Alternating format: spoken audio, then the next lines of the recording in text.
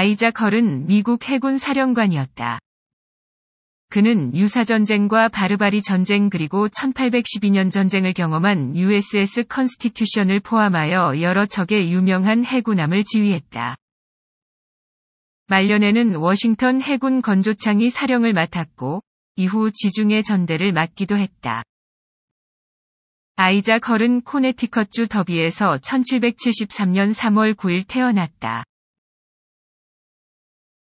어린 나이에 아버지 조셉이 근무하고 있던 지방 해병에 입대를 했고 서인도 제도로 장기 항해를 했다.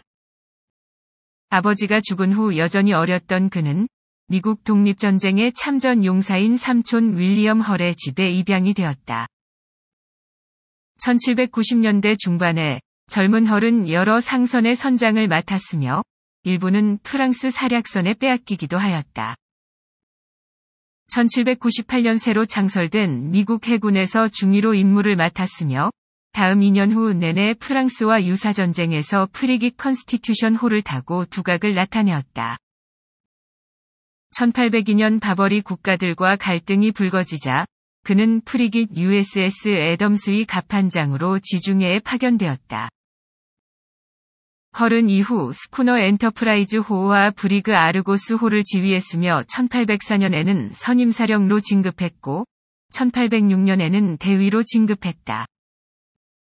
이후 몇 년 동안 그는 gunboat 조선을 감독했고 1809년과 1810년에는 프리깃 체사피크 호와 프레지던트 호 그리고 컨스티튜션 호를 이어받았다. 콘스티튜션 함장으로 헐은 파란만장한 시간을 보냈다. 1811년부터 12년에 걸쳐 유럽을 순항했고 미영전쟁이 시작되기 직전에 귀국했다. 영국 함대는 7월에 동해안에서 콘스티튜션을 추격했지만 헐은 교묘하게 그들을 따돌렸다. 1812년 8월 19일 컨스티튜션 호는 영국의 프리깃 HMS 게리에르와 조우하여 이 배를 격파하고 작은 미국 해군이 영국 해군에 충분히 위험한 상대임을 증명했다. 미영전쟁의 남은 기간 동안 헐은 워싱턴 DC에서 단기간 해군 평의위원회의 의원을 역임한 후 보스턴 해군 조선소의 사령관이 되었다. 1823년부터 27년에 걸쳐 그는 태평양 전대의 지휘관으로서 남미 연안에서 활동했다. 1829년부터 35년까지 워싱턴 해군 조선소의 사령관직을 맡았고 39년부터 41년까지 지중해 전대를 지휘했다.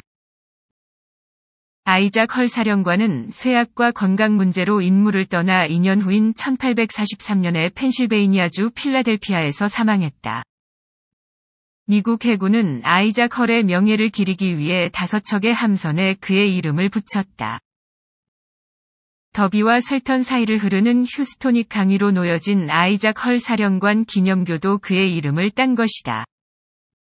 앨라배마주 몽고메리에 있는 헐 스트리트도 그렇게 이름 지어졌다.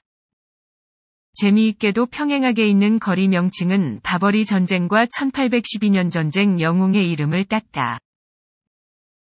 스티븐 디케이터의 이름을 딴 디케이터 스트리트, 토머스 맥도너의 이름을 딴 맥도너 스트리트, 제임스 로런스의 이름을 딴 로런스 스트리트, 윌리엄 베인브리지의 이름을 딴 베인브리지 스트리트 그리고 올리버 해저드 페리의 이름을 딴 페리 스트리트가 평행하게 이름 지어져 있다.